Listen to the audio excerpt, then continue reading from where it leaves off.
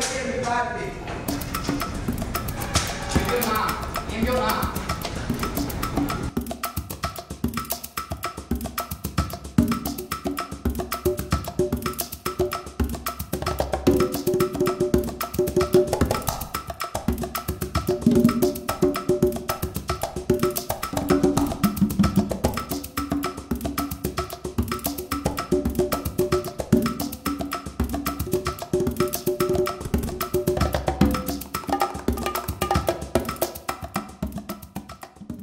La película es una historia de amor. Eh, yo pienso que es una historia de amor entre dos personas con carencias afectivas eh, diferentes, este, pero en esencia yo creo que es una historia de amor. De eso se trata, es una historia de amor. Yo creo que las historias de amor todas tienen eh, todas tienen pequeñas traiciones, tienen buenos momentos, tienen decepciones. Eh, las más historias de amor más, más bellas y con finales felices siempre tienen dentro de ellas unos momentos terribles, todas. Y yo creo que esta tiene un poco de todo eso. Tiene, tiene momentos bonitos, tiene momentos que no son tan bellos, más difíciles. Este, eh, ¿cómo, se diferencia de las otras? Pues yo creo que lo que la hace quizás un poco particular es, es el, personaje principal, que es Armando, eh, que es un personaje de una gran complejidad eh, y es lo que le da la singularidad a la historia. Yo creo que la historia desde el punto de vista psicológico se cuenta desde el punto de vista, Armando es el que lleva la psicología de la película hacia adelante y todo en la película, eh, desde el punto de vista estético, visual, narrativo, tiene que ver con la psicología de, Armando. Y, yo creo que eso, él como personaje, como, este, sí, como personaje y como personalidad es lo que le da, podría diferenciarla de otras historias de amor. Bueno, lo primero fue que yo leí el guion que me envió Lorenzo y me pareció magnífico, me pareció de una escritura pero muy delicada, muy fina, muy profunda, llena de crisis, conflictos, soluciones, una narración muy buena, muy bien contada la historia. Y eso me atrajo profundamente después el personaje Armando, que es un rol de una cantidad de matices y dificultades que son magníficas para un actor. Y nos conocimos porque Lorenzo vio un film que yo hice y a él le gustó mucho la fotografía y el film. Y gracias a Dios mi actuación, entonces ahí hicimos vínculo, eh, hablamos por Skype unas dos veces, él fue a Chile, a Santiago, conversamos y eh, tuvimos una relación, una, aproximación muy interesante a nivel de imaginarios comunes, de ideas comunes en torno al guion y ahí empezamos a trabajar. Bueno, es eh, una historia muy profunda, un ser muy solo, muy extravagante, eh, que recorre Caracas entera, digamos, todas sus profundidades. Eh, un hombre que tiene una deuda con su padre, y em, está tratando de resolver ese conflicto, digamos, con el padre, con un padre eh, que lo abandona, eh, con una familia mm, de clase media alta, más bien él pertenece a una clase media un poco más baja y tiene conflictos emocionales importantes y muy profundos.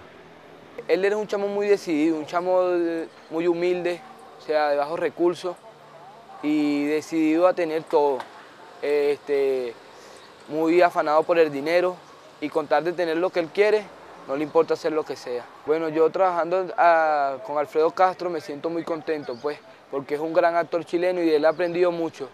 Y también que Lorenzo me ha exigido mi trabajo como tal, pues, y yo siento que en ninguna de las otras películas he dado lo que yo he dado en esta película. O sea, siento que este es mi mejor trabajo hasta ahora.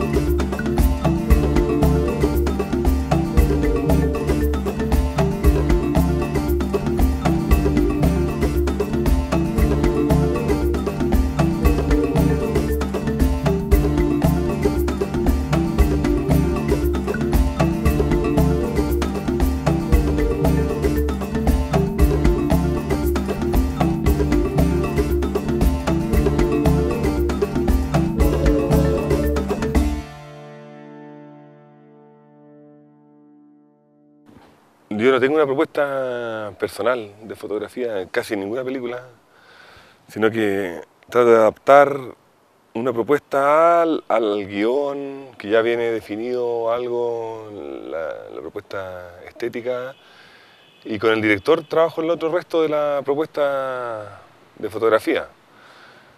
Entonces no tengo una propuesta específica para esta película, ni para ninguna, no, no uso esa manera de trabajar, de acercarme, sino que leo el guion y en conversaciones con el director se va creando la propuesta de iluminación, de, de cámara, todo lo que tiene que ver con la fotografía. Entonces no, no, podría hablar de una propuesta precisa, pero sí lo que puedo decirte, contarte es que teníamos la idea de ocupar lo anamórfico, que fue como un, hito que nos ayudó bastante, yo creo que nos ayudó a que, al resultado de la película, va a ayudar. El, anamórfico produce un, una forma de encuadrar muy particular que, que lo, aprovechamos bastante esta película, esa es la óptica. Y también eh, casi no ocupar luces. También aparte de la propuesta, que obtener un resultado naturalista. Y eso era, lo hicimos sin ocupar luces, sino que adaptarnos a, lo, a los lugares que íbamos encontrando, en las locaciones que íbamos usando y usar lo que había naturalmente y poner la cámara de acuerdo a esa luz que había. Y no inventar una luz de cero, sino que aprovechar la que ya había. La propuesta de arte de esta peli, eh, como suele ocurrir muchas veces, eh, tiene un proceso, digamos, de evolución a medida que la, que la preproducción y se va acercando a la producción, ¿no? Eh, la trabajamos con Lorenzo en un principio sí, viendo una cantidad de referencias de películas eh, francesas, turcas, un estilo bastante europeo todas, donde, que, donde empezábamos por limpiar mucho los, los ambientes, no darle la carga densa del personaje, no dársela a los ambientes. Luego eso fue modificándose un poquito, o sea, esa fue y sigue siendo la base digamos, conceptual de artística de la peli, pero se ha ido cambiando un poco, se ha ido modificando un poco y se ha ido, yo creo que para bien, eh, convirtiéndose en algo más real, más lo que uno ve normalmente, aunque todos los decorados han sido trabajados, modificados, no hemos usado nada tal y como está, todo ha sido intervenido, incluso exteriores, pero sí hemos hecho ese pequeño, de una especie de idea inicial de hacer cosas muy limpias y muy, no limp, limpias no es la palabra, es poco recargadas. Las dificultades o los eh, problemas financieros que pueda tener, no esta película, cualquier película hoy en día en el país, este, es que con la, con la variabilidad de nuestra economía, que es que no se puede hacer planes a largo plazo, ya que este, fluctúa y cambia mucho, este, tenemos una inflación alta, este, en el proceso de levantamiento de esta película y preproducción hubo dos devaluaciones, o sea que el presupuesto original con el que nosotros empezamos no tiene nada que ver con lo que es hoy en día el presupuesto de la película. Este,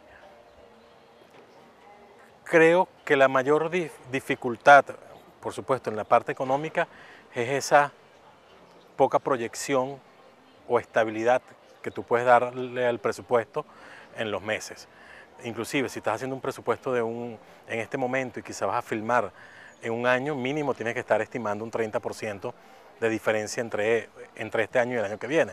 Porque bueno, siempre ha estado alrededor del 20 y tanto por ciento hacia el 30 este, la inflación. Entonces ahí tienes que estar como que siempre un poco más, más adelante eh, más avanzado de lo que realmente es el presupuesto que realmente vas a usar. Hay otras cosas que van afectando la economía de la película.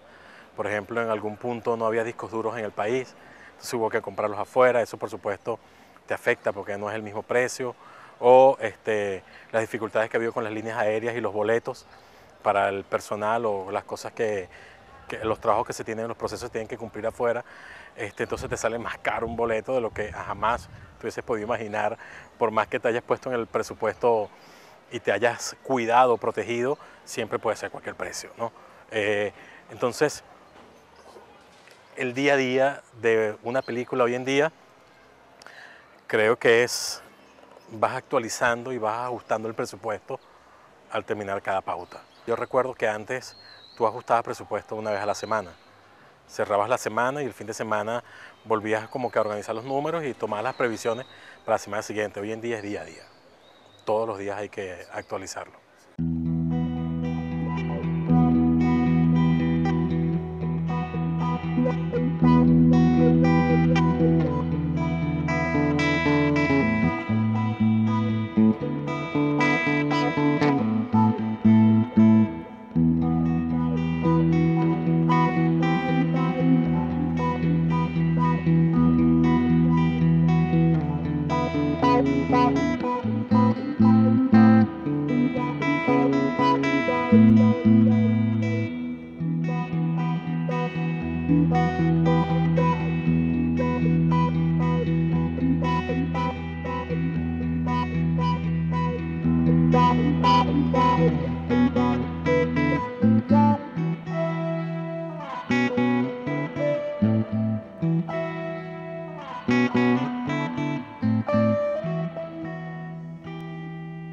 Es una película que no, va, no se va a editar rápidamente porque hay mucho material, hicimos algunas cosas metiéndonos en calles con gente eh, de la calle sin controlar las calles y eso nos llevó a filmar bastante material.